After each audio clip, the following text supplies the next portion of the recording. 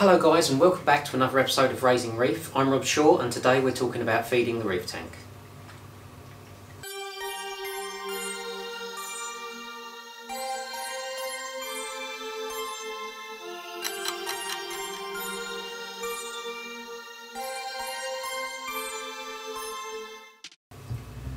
So when it comes to feeding a reef tank, it can be hard to know exactly how much to feed, how often to feed and what to feed.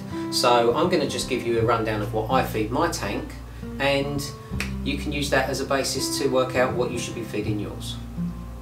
So when it comes to feeding my reef tank, because I've dosed phytoplankton and I have a refugium, there is a lot of natural food going around the system almost continuously. On top of that, it only needs a little bit of supplemental food from me, and on a daily basis, that comes in the form of a flake food. I have it set up on a um, auto feeder, which goes off twice a day at about 11 o'clock and I believe 2 o'clock, and that provides a small amount of flake food to supplement their natural diet that they're getting. The flake food that I use is Ocean Nutrition Prime Reef Flakes. It's a great food and it's made with a lot of natural ingredients that would make up a natural diet on the reef anyway. So in addition to this daily feed, I feed the tank once a week with some frozen mysis shrimp. I also add some phytoplankton and some Reefroids by Polyp Labs.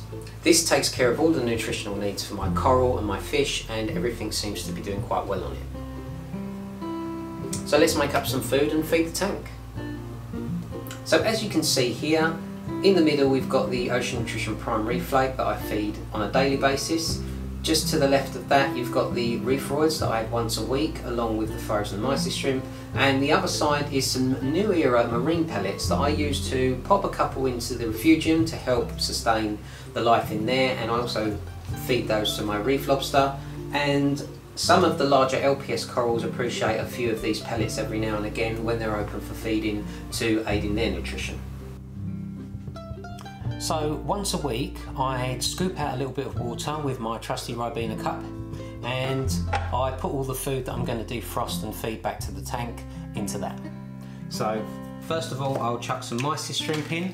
This is the mysis shrimp that I use. Um, it's just the one that's readily available to me. It comes in a blister pack and you can just pop the blister packs out and use what you need. I only have four fish so I don't need to use a whole a whole cube. This is quite a lot of food for my tank, so I will cut one of these into four and transfer it into a little Tupperware box that I keep in the freezer. But when it comes to feeding time, I can just grab a piece that's big enough for my reef and pop that in. The rest can go back in the freezer. And that's that. Reefroids food for my corals. I will feed this once a week and what I do is I take about that much, about a quarter of a teaspoon and I'll pop that in as well. Lastly, for this weekly feed, I will take some phytoplankton out of my fridge that I recently harvested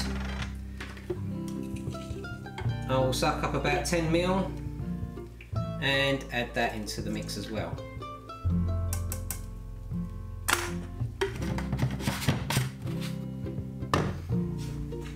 I'll give it a good stir up.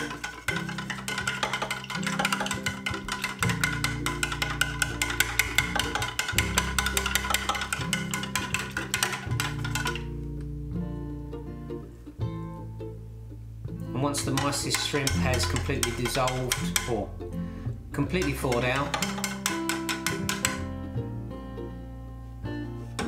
then I can feed it to my tank. So now that all the food is uh, defrosted and ready to feed to the tank, it's simple as pouring it in. So when the food goes in, as you can see, the fish get really excited and they grab as much food as they can.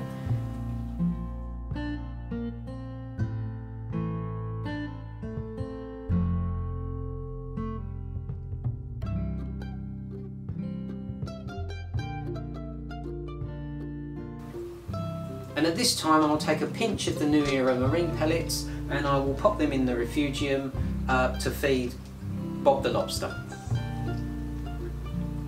As you can see here, Bob scurries out to grab what he can before scurrying back to his little burrow. It's a brief glimpse, but it makes you appreciate seeing him all the more.